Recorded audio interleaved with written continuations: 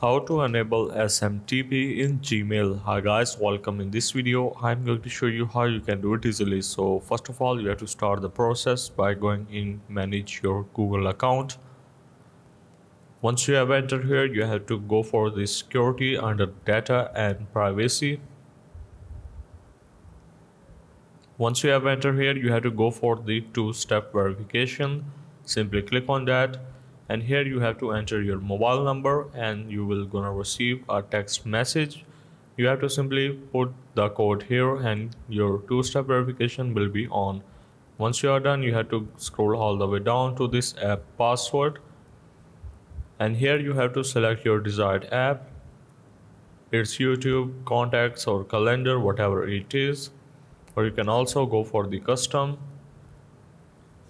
Now you can simply type that particular name and click on the generate. Now here is your generated app password. So that's how basically you can enable your SMTP in Gmail